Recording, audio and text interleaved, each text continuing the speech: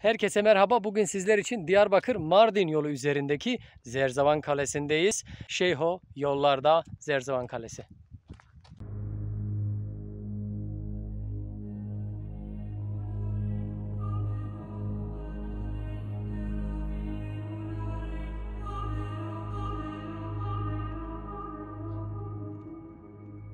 dorime interimo ad appare dorime ameno ameno lancire lanciremo dorime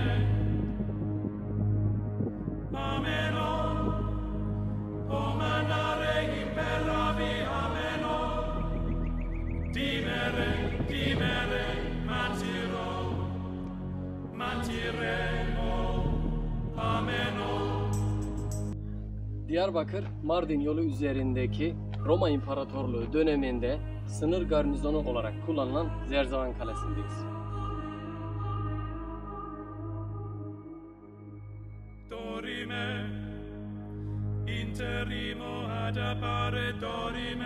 Burası Mitrades dinine inanan müritlerin bu ayı kurban etmek, kesmek için geldikleri yer.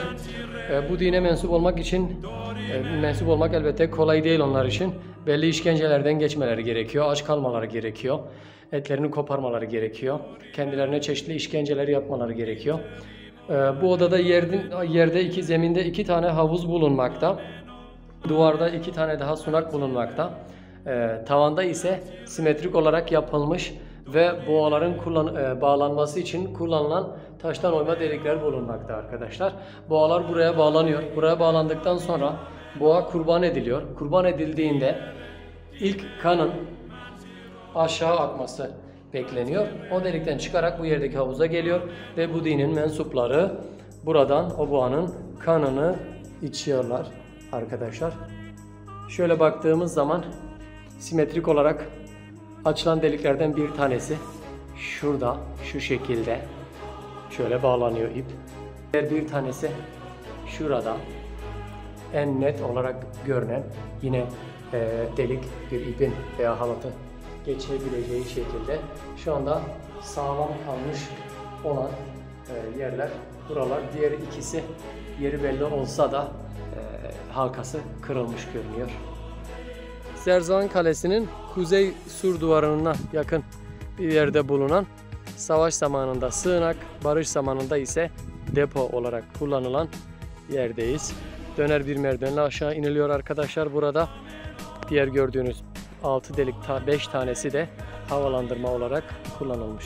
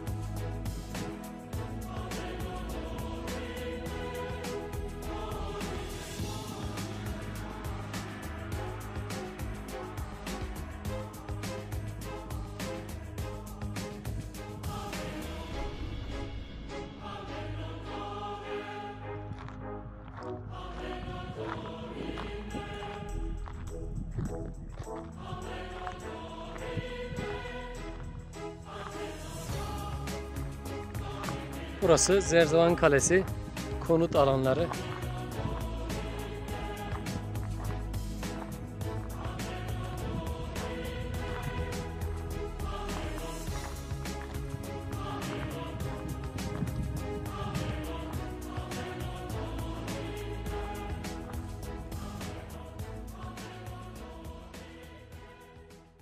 Karşıda görünen çizgi gibi olan yer ise su kanalı arkadaşlar. Yaklaşık 8,5 kilometre öteden kaleye e, su taşımak için kullanılan su yolu, su kanalı diyebiliriz. Şimdi daha yakından göstermeye çalışacağım onu.